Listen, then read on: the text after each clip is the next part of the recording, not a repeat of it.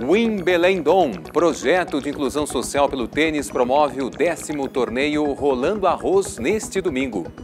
Treinamento físico funcional, um jeito de manter a forma sem equipamento de musculação. Xadrez é ferramenta de aprendizagem de matemática, artes e reciclagem em Escola de Alvorada. E mais a agenda esportiva e os destaques da semana. Eu sou o jornalista Marcelo Berter e esse é o TVA Esportes que já está começando.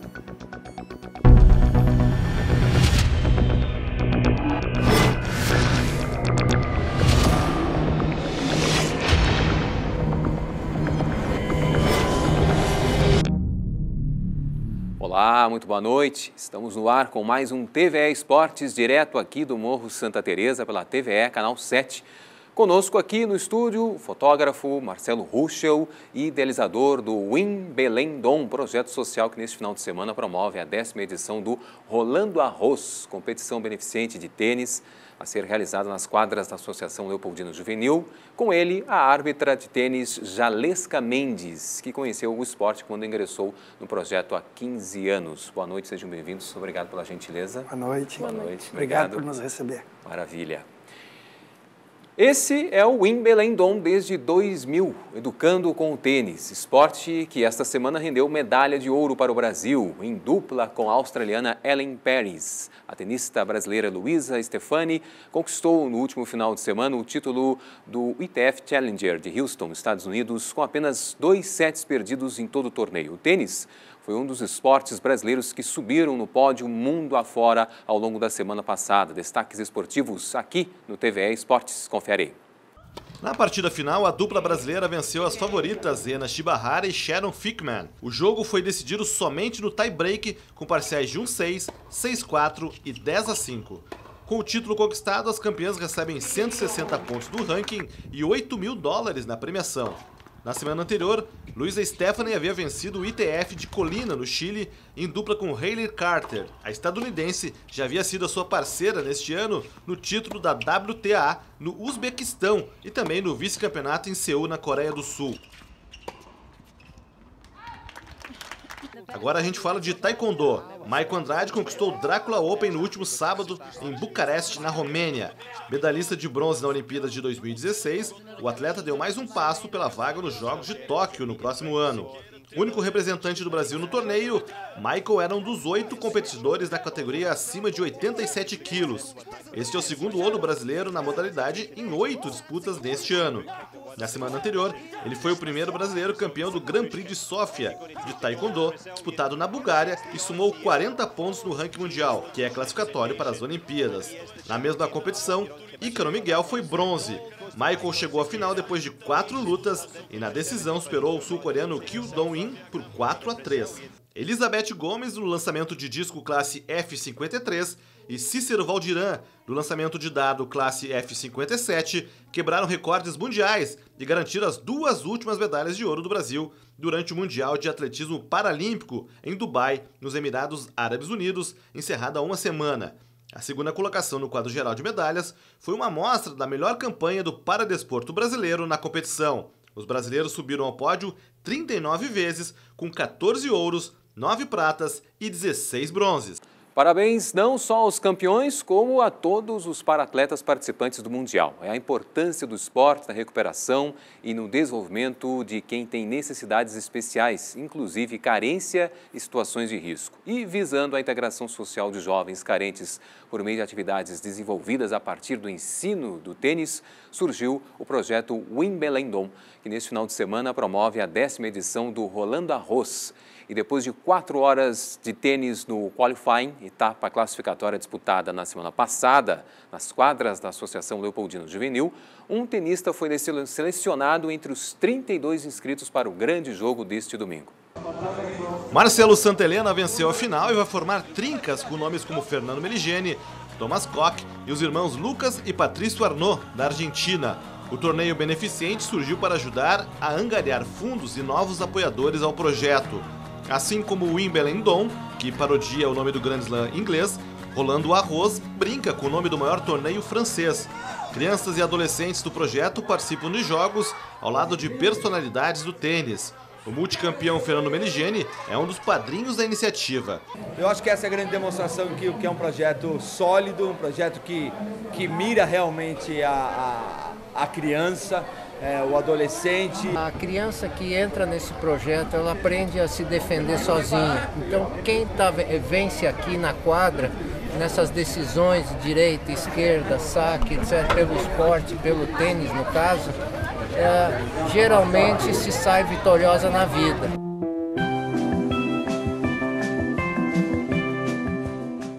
O décimo Rolando Arroz acontece na sede do Wimbledon Dom, que fica na Avenida Heitor Viana, número 78, no bairro Belém Novo, na zona sul de Porto Alegre. Maravilha. Bom, e a gente está aqui com o coordenador e fundador do Embelendon, Marcelo Ruschel. Obrigado pela presença, Marcelo, e também com a Jalesca Mendes, que também tem, participa do projeto, né, Jalesca? Vamos conversar sobre o projeto, Marcelo. Como é que o projeto começou uh, e o que, que ele tem promovido para as crianças e para a comunidade? O projeto começou no, em 31 de outubro de 2000, né, quando eu loquei a quadra por longo prazo para fazer algum, algum trabalho com as crianças do bairro. Né? Até hoje, Belém Novo, lá toda a região extremo sul de Porto Alegre, é um vazio de atendimento social. Então, faltam iniciativas sociais para tirar as crianças da rua. E aí, como eu era fotógrafo ligado ao tênis, né, me, eu via aquela quadra abandonada com mato em cima e eu ficava com aquela vontade, ficava literalmente viajando, assim, pensando no que, que daria para fazer com as crianças do bairro. E daí surgiu, inclusive, por ter mato em cima dessa quadra abandonada, uhum. a brincadeira do nome, que eu mostrando para um amigo meu, falando desse meu sonho de criar um projeto, eu disse que era só aparar aquele mato que viraria o Wimbledon. Aí que surgiu o Wimbledon, Wimbledon. Maravilha. e a gente faz isso, né? Completamos 19 anos de vida agora em outubro. E a gente usa o tênis só como um chamariz para as crianças entrarem para o projeto, Sim. que já é uma quebra de paradigma, né? um esporte dito de elite. Mas essa vontade deles e o gosto pelo tênis que a gente faz com que eles uh, melhorem e virem um dia bons cidadãos, como é, nós temos um exemplo vivo aqui do meu lado direito, né? que é ensinando outras, outras habilidades e atitudes para essas crianças que um dia elas vão usar na vida adulta. Pois bem, a Jalesca como tu disseste, é um exemplo. Quando é que tu ingressaste no, no projeto? Eu comecei no Embelendon com nove anos, em 2004. É transformação, mas eu não imagino a minha vida sem o Embelendon, porque eu acabei passando dos nove aos 18 dentro do Embelendon. Foi ali onde eu fiz meus amigos, eu considero a Lu e o Marcelo meus segundos pais, porque a gente acabou convivendo mais do que os meus pais. E foi ali onde eu tive educação, onde realmente eu aprendi que a vida não é fácil, mas é como um jogo de tênis, sempre tem uma, uma nova oportunidade. Toda vez que tu que tem uma barreira, que te coloca uma barreira, tu precisa enfrentar aquela barreira. Uhum. E hoje tu, até tu te formaste em educação física, né? A faculdade de educação física também foi mais uma porta que o projeto abriu. Me formei em educação física esse ano na faculdade de Sojipa, também com uma bolsa de estudos. E hoje em dia sou fui estagiária por, durante dois anos do projeto e hoje em dia, ano passado, fui contratada como educadora social e hoje em dia como educadora física. Maravilha. Ela acaba sendo um exemplo para as crianças que estão ali participando, né, Marcelo? Exemplos, cases de sucesso tão Sim. legais quanto o da Jalesca, a gente tem dezenas né, das milhares de pessoas, de crianças que hoje estão adultas, que passaram pelo projeto. E é, é, esse é o lucro do nosso trabalho do Emberendon, né, que é a transformação social.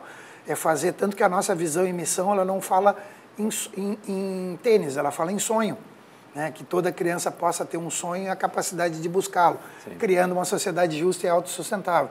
Então é aquela coisa, usar essas ferramentas, esses bons valores que tem num esporte como o tênis e mesclada com um monte de oficinas socioemocionais e culturais e tal, e esportivas, né? fazer com que elas adquiram esses bons valores e que carreguem para a vida inteira, consigam lutar mais pelos seus sonhos. Sim, já, já estava falando sobre a questão de ultrapassar obstáculos vocês tiveram um incêndio, né? Na verdade, a sede ficou seis, seis meses ela inter, em, é, em, obras, né? fechada, interditada.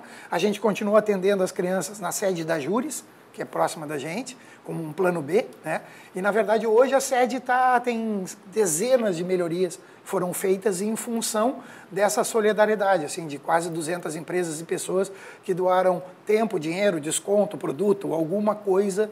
Para ter uma ideia, Marcelo, hoje a gente tem autossuficiência de energia elétrica. A gente só paga a taxa básica, são 38 placas de energia solar que nós conseguimos solar. também, 6 mil litros de água da chuva reaproveitados. Então a gente tem né, essa preocupação também né, com o meio ambiente, com a sustentabilidade como um todo da Sim, organização. Maravilha. Como é que é a tua colaboração ali? Como é que acontece a tua atividade no Imbelendon? Então, hoje formada como uh, educadora física, né, eu atuo mais na parte do tênis ali, das atividades físicas com as crianças. O tênis é uma das atividades que acontecem todos os dias mas eu atuo na hora do lanche, na hora de uh, precisar de algum tema, alguma coisa, a gente acaba abraçando toda a causa do Embelendon. Precisa uh, organizar para o evento, então a gente está sempre atuando, assim, acaba atuando mais na área do tênis, mas no que precisar. Certamente. Rolando Arroz. Pois é, é o nosso mais querido, mais antigo evento, né? Está indo para a décima edição, 2017 não teve por falta de dinheiro, para variar, que é muito comum no terceiro setor, mas estamos indo para a décima edição. É um evento super legal, super divertido, super fotogênico, né? Todo mundo está convidado para ir lá participar. O ingresso custa 60 reais, uhum. né? E já, e já é uma forma de ajudar a gente. A gente aluga arquibancadas, tem todos, arquibancada coberta, mesas, cadeiras. A, a gastronomia da Uniriter prepara é, é, três tipos de risoto, salada de arroz, bolinho de arroz de entrada, que é nosso é famoso, o nosso bolinho de arroz, sobremesa de arroz. Né? Então é um evento super divertido, que é um torneio basicamente trincas, né? que não é muito comum no tênis, que a trinca é, joga um aluno, um educando do projeto, um tenista profissional e um empresário convidado, que um deles saiu do classificatório que aconteceu no Leopoldina Juvenil, uhum. uma dessas vagas. Todos eles têm um microfone sem fio, né? que pessoas que nem o Fernando Meligeni, que estão confirmadas, que é um showman, já garante a diversão do dia, né? Porque todo mundo se comunica, a plateia interage, né? Então acaba sendo um dia super divertido. As crianças que não estão jogando, tem oito que são boleiras, tem duas que são quadristas e todas as outras, né? Elas estão jogando Arroz Olimpíadas, que é uma brincadeira por equipes, hum. também valendo medalha, valendo premiação que as crianças participam, integrando também com os jogadores e com os empresários. O auge da Olimpíadas é depois do almoço, com as mímicas, onde cada jogador tem X minutos para responder em mímica para sua equipe ganhar ponto. Então, o dia, a diversão e solidariedade é garantida. Isso é o dia inteiro o dia na inteiro. sede do, do Imbelendon. Os jogos começam às 9 da manhã, uhum. começamos às 11h30, meio-dia, servir o almoço para as crianças, inclusive, em seguida está liberado para, os adultos, né, para, os convidados, para os participantes, né, e depois, logo depois do almoço tem as mímicas, tem um bate-papo no palco que a gente monta com os jogadores, que vai pelo perfil dos jogadores que vêm, sempre a gente convida eh, exemplos de superação, né, um exemplos legais para as nossas crianças. Então acaba sendo bem emocionante esse bate-papo. E em seguida as finais e depois a premiação. Maravilha. Vai até às 5 da tarde, mais ou menos, porque todos os jogadores têm voo na, no próprio domingo à noite. Sim. Maravilha. Marcelo Ruxo, obrigado pela tua gentileza com a gente aqui a gente novamente promovendo sobre o Belendom, um belíssimo projeto. Jalesca, obrigado pela tua participação e tua gentileza com a gente aqui também. A gente que agradece. Tá Muito obrigado. Boa noite para vocês. Obrigado. Esperamos todo mundo lá. Maravilha. E a gente segue falando de tênis na agenda esportiva com dicas do que acontece de mais significativo nas quadras, pistas e raias gaúchas neste final de semana. Até o domingo, cerca de 300 tenistas das classes infanto-juvenil até o sênior disputam na capital a última etapa do Super Tênis. Os confrontos acontecem nas quadras do Clube do Comércio. A promoção é da Federação Gaúcha de Tênis. E no próximo sábado, dia 23, tem prova de bicicross em Santa Cruz do Sul. Ciclistas de todo o Brasil disputam a quinta e última etapa da Copa Brasil de BMX Race. Bikers de 7 até mais de 40 anos vão saltar e pedalar a toda velocidade em busca do último título nacional da temporada. A promoção é da Confederação Brasileira de Ciclismo. E para quem gosta de poeira, ronco de motor, adrenalina e alta velocidade, não vai faltar atração neste sábado e domingo. Em Eldorado do Sul acontece a etapa derradeira da Copa Hype de Velocross. O evento vai reunir mais de 150 pilotos e máquinas. E a região de Passo Fundo fecha a temporada 2019 do Rally Trancos RS, campeonato de rally regularidade nas categorias 4x4, UTV, quadris e moto. Aberta para qualquer veículo, a categoria Amigos do Seu Nard vai homenagear um dos pioneiros do rei de gaúcho e catarinense, falecido em 30 de agosto desse ano.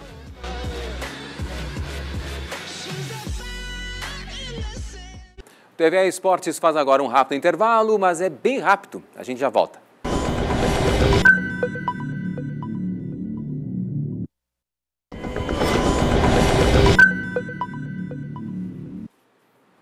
Estamos de volta com o TVE Esportes e agora para falar de treinamento físico funcional.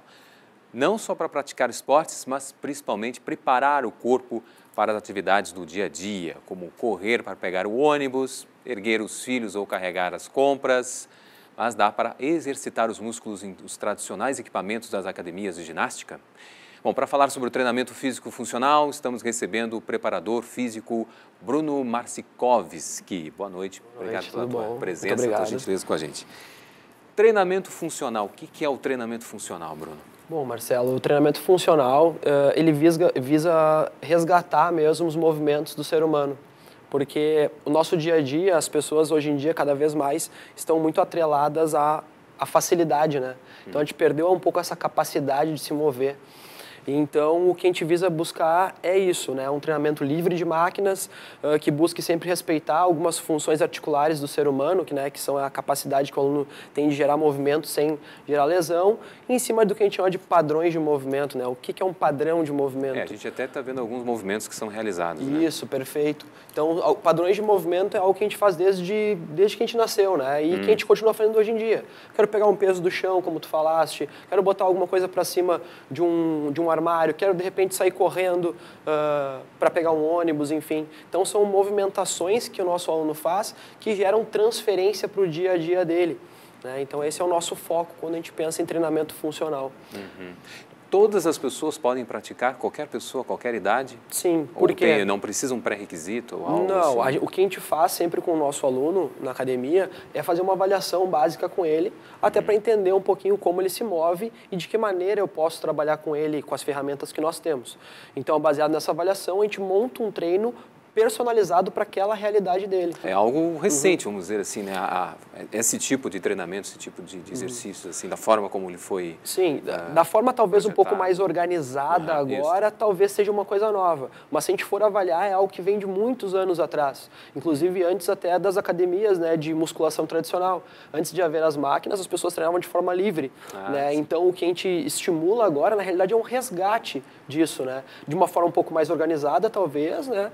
Mas resgatar essa movimentação das pessoas, porque tu imagina, né? O nosso aluno, pensar numa realidade de um aluno comum, né? Talvez ele acorde pela manhã, tome seu café sentado, aí ele levanta, pega o seu carro, fica 50 minutos num trânsito, uh, vai até o serviço, senta mais lá uma hora, mais oito horas talvez do seu dia, e aí vai para casa de novo, se deita no sofá, senta, enfim, se alimenta. Uhum. Né? Então, tu imagina a falta de movimento que esse ser humano tem. Então, o que a gente visa é resgatar esses movimentos com N ferramentas que nós possibilitamos trabalhar.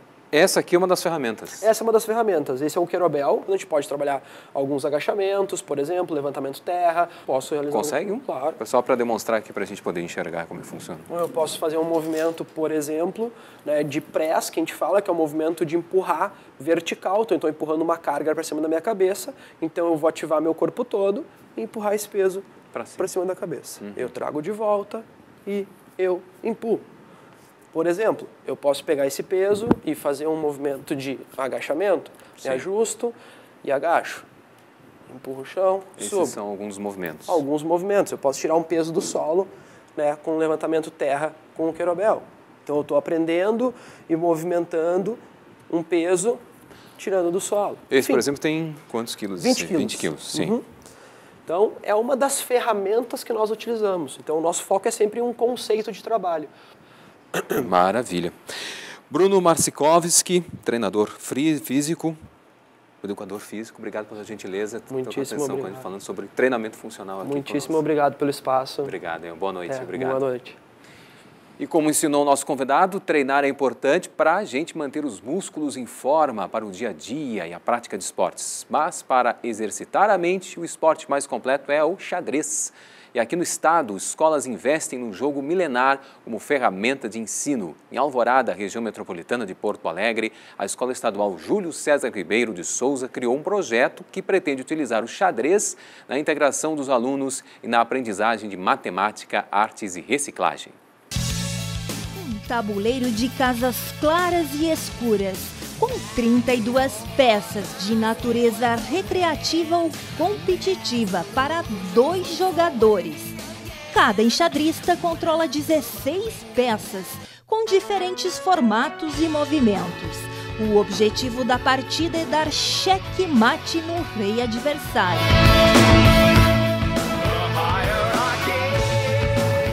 Embora possa ser incluído em uma atividade mental que exige muita concentração e estratégia, o xadrez apresenta todas as características de um esporte.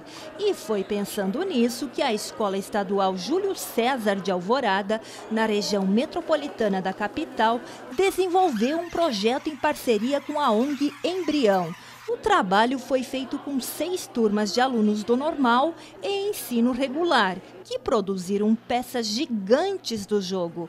Além da integração, os estudantes refletiram sobre questões importantes da atualidade. Foi passado para eles dois documentários, onde um falava sobre o meio ambiente e o outro sobre o preconceito e a discriminação racial. Nesse vídeo foi falado também sobre a discriminação uh, da pessoa negra, onde a patroa né, uh, jogava o xadrez, só que ela achava que por ela ser a chefe, ela teria que iniciar com as peças brancas. É, seja lá como atividade mental ou como esporte, a disputa de uma partida de xadrez traz sem dúvida muitos benefícios. Além de tu estimular só a coordenação dele, né, a motricidade, uh, deles, o movimento, né, em, em tudo né, libera assim para eles porque ainda mais as peças gigantes que eles estimulam o movimento do corpo, não é só ficar sentado e jogando. O jogo de xadrez ele trabalha muito com a nossa mente e a gente acaba aprendendo novas coisas. Eu acho bastante importante também para o nosso currículo, né, porque o xadrez ele testa a nossa capacidade. Vice-presidente da ONG Embrião, o Alan é deficiente visual e participa de disputas em campeonatos de todo o país. Ele, que também ensina os jovens aqui no estado a jogar xadrez, entende do assunto como ninguém e é ele quem avalia o resultado desse trabalho. Afinal, foram utilizados 315 discos de papelão para construir cada peça e quase 7 mil discos de material reciclável. Ficou bom o trabalho? É, ficou, pelo que eu percebi, ficou excelente. A ideia é ter uma atividade esportiva bem interativa nos dias de chuva na escola, sem precisar sair do prédio ou recorrer às novas tecnologias. Eu espero que daqui para frente eles se distraiam mais, deixem o celular de lado né, e tenham mais interatividade com os colegas.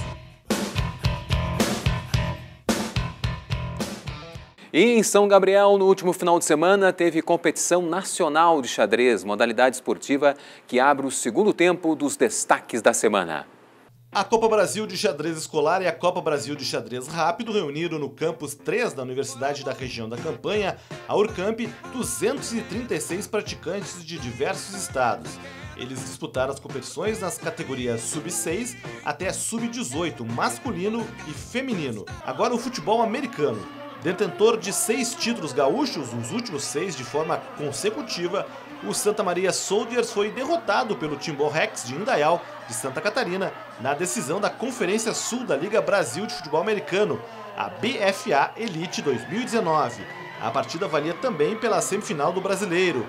A vitória por 48 a 28 no Parque Jorge Hart garantiu à equipe catarinense o pentacampeonato e uma vaga nas finais do Brasileirão. O adversário é o Tubarões do Cerrado, que derrotou o Cuiabá Arsenal para levantar a taça da Conferência Centro-Oeste. O jogo final está agendado para o próximo dia 30. Mais de 100 ciclistas disputaram no último domingo em Montenegro a primeira etapa da 16ª Copa União, promovida pela Liga Gaúcha de Ciclismo. Competidores de 24 categorias, como speed, mountain bike, handbike e paraciclismo se reuniram às 9 da manhã para a largada junto à Praça Rui Barbosa, no centro da cidade. Rafael Rosa, de Montenegro, chegou em primeiro na categoria Elite, percorrendo 50 quilômetros em 1 hora e 15 minutos. A próxima etapa acontece no dia 1 de dezembro, em Imbé. Mais bicicleta. A pista de esportes radicais do Complexo do SEI, em Campo Bom, recebeu no último final de semana a quinta edição do BMX Street Park, evento de BMX Freestyle. A competição reuniu mais de 60 pilotos das regiões sul e sudeste do país. No sábado foram disputadas as provas nas categorias Mirim Iniciantes e no domingo Amadores, com vitória de Yuri Castilho de Porto Alegre e nos profissionais o Eduardo Hertal de Caxias do Sul. O Veleiros do Sul de Porto Alegre foi o grande destaque do 41º Campeonato Sul-Brasileiro da classe Laser, realizado no domingo na sede oceânica do Iate Clube Veleiros da Ilha, em Jurerê, Santa Catarina. Depois de três dias de disputas, o Veleiros do Sul conquistou o pódio todo da classe Laser Standard, com ouro para Guilherme Roth, prata para Marcelo Galicchio e bronze para o Francisco Ruschel. E uma última informação: o Lami Futebol Clube, a gremiação esportiva de veteranos aqui de Porto Alegre, está completando nesta sexta-feira 50 anos de atividades. Parabéns a todos os atletas, dirigentes e torcedores. O TVE Esportes de hoje está chegando ao fim. A gente volta na próxima sexta-feira com novas informações. Mais esporte aqui na TVE neste final de semana. No sábado às 7 da noite tem SESI Bauru e São Paulo Barueri pelo Campeonato Paulista de Vôlei Feminino. No domingo, às 8 da noite, é a vez do vôlei masculino. SESI São Paulo e Vôlei 1 Itapetininga. Boa noite, bom final de semana.